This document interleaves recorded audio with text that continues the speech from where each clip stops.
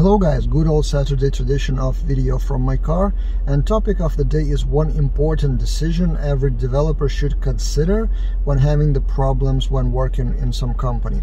So quite often I see the scenario of developers are not kind of not allowed to write quality code.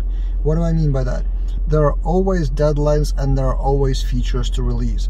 So for example, you have a task list of five tasks and you need to complete them in five days, although actually to make it quality work, you would need 10 days. But since the deadlines are tight and managers pressure you and teammates pressure you, your startup, your company need to deliver more features. So it becomes kind of a feature factory where managers and the whole team overlooks the quality and the long-term vision for the project. It's a really, really often scenario. Everyone saves money on quality, especially smaller budget startups. They don't spend enough time on things like automated testing, like refactoring when the problems arise and then down the line if the project is successful it will bite you. Either bite yourself as a developer or the whole team or future developers and at the end business themselves.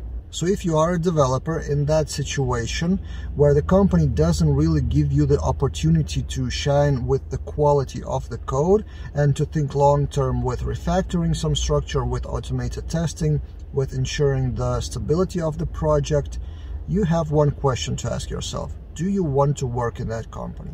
Because obviously that means that that company doesn't care that much about long-term quality, they care about short-term profit. And don't get me wrong, from business side, it's totally normal if you have small budget in a startup and you have a proof of concept to release, your resources are limited and you really don't have time to ensure the long-term quality because that long-term time may not appear. So then your goal as a business is to literally release everything as fast as possible.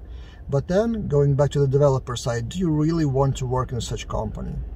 If you are in such situation, your first step should be actually talk to the managers. Explain the situation that if you don't make sure that this and that is in place, like processes for automated testing, like using proper version control for deployment, some of those things don't take that much time or explain that you need more time to deliver certain features if they want quality features, that you need to think some more about what structure to use and experiment some more and maybe refactor some old stuff.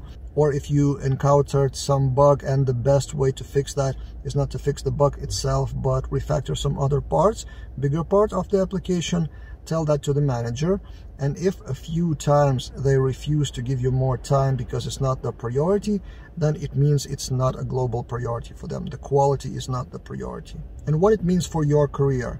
If you stay at that company you won't evolve as a developer. And if in the future you need to look for another job then on your CV you wouldn't be able to list the practice of best practices of TDD, of solid principles, of refactoring, stuff like that.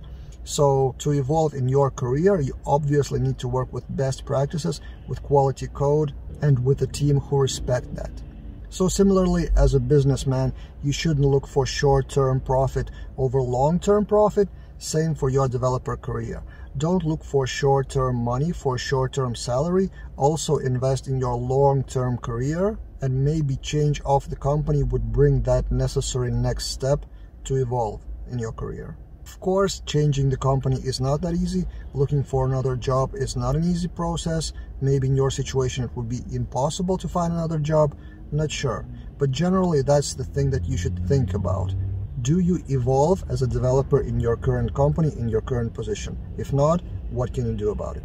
Do you agree with my thoughts? Have you been in that situation? Have you changed the companies before because of that decision or similar situation? Share in the comments below and see you guys in other videos.